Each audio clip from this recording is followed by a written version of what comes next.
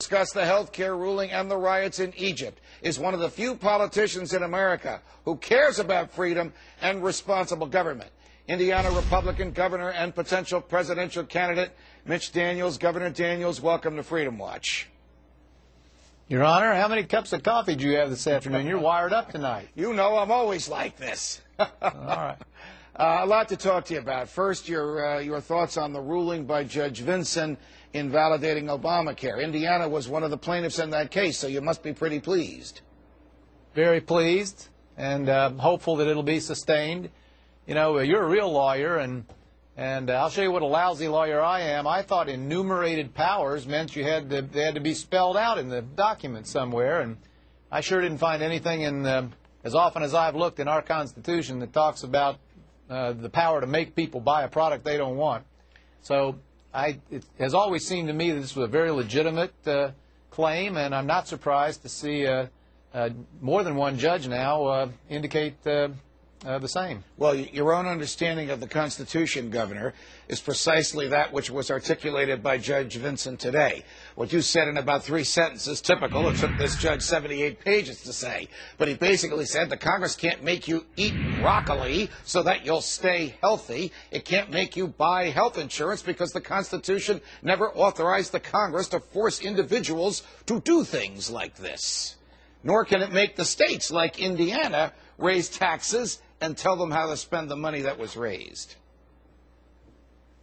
Well, it makes good sense to me, and as I say, uh, uh, I, I, I, personally believe that the, the law is very uh, flawed, uh, fundamentally um, a mistake for the country. But setting all that aside, these constitutional issues, it's, it's just really, uh, to me, uplifting to see them raised uh, so seriously and, and treated so uh, so seriously. It's been a while since those principles have, uh, have been expressed as they are in these uh, debates. The, uh, let, us move to Egypt, uh, if we could. It seems like President Mubarak will be gone soon as a result of these enormous, unfortunately tragic, deadly, and destructive, but enormous demonstrations in the streets. What's your take on this, Governor? Should we welcome uh, a dictator with whom, with whom we've done a lot of business going away? Should we welcome someone who was educated in America and sounds like he would be more open to our liberal uh, institutions? Or should we fear that whoever would replace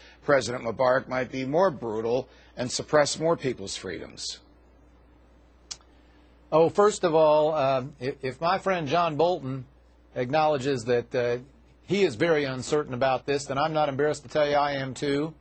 Um, and um, uh, I believe that quite often uh, our government pretends both to more knowledge than it has and pretends to more influence than it has. And I, uh, I think they've been properly circumspect so far. Uh, I'm a water's edge uh, guy when it comes to foreign policy, uh, Andy, and so I think that we should support the um, direction that the administration has taken and and so far, I think their their policy of modesty is uh, probably uh, about all that's available to us. You have uh, balanced a budget in the most difficult economic times, uh, to the point where the government of the state of Indiana, and I'm not just saying this because you and I went to school together and have known each other for 40 years. I'm saying it because it's true. Is recognized as a model government throughout the country. If you were to be asked to balance a federal budget, for example what would you think of the proposal of Governor of uh, Senator Rand Paul uh, of Kentucky, who in one uh, stroke wants to stop all foreign aid and wants to cut 500 billion from the domestic parts of the budget? Would you find those proposals attractive, Governor Daniels? In large part, I would. I do think we're going to need to see a dramatically uh, downsized federal budget, that is the operating budget um, I rather like the idea of, as a starting point, that's uh, gone around of moving back at least uh, two or three years. Nobody I know thought the federal government was too small in 2007 or 8. I think they ought to extract that as uh, the, the price of uh, any agreement on this uh, uh, debt ceiling business that's coming up next. Now, what I don't know that it, it, may be there, but what I don't know that is in Senator Paul's suggestion so far is the heart of the matter, and that's a uh, new compacts in the Social Security and Medicare system for the younger people at least, not those who are in the system now, but those right. who are coming along and paying all the bills.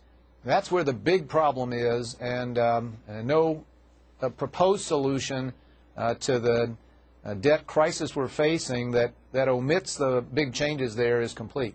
You, um, you know that in the, in the Bush years, George W. Bush, the debt was added to by 2 trillion in eight years. President Obama has added nearly 4 trillion in just two years.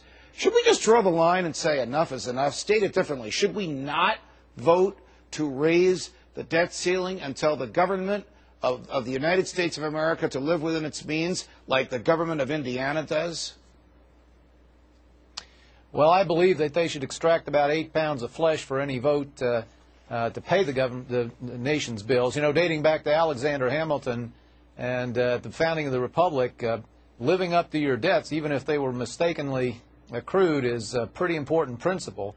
And uh, you know, this debt ceiling vote is really uh, retrospective. the damage that it's dealing with has already been done, but it's a great moment of leverage to make a radical difference in the spending of this country and the kind of things that Senator Paul and others have suggested.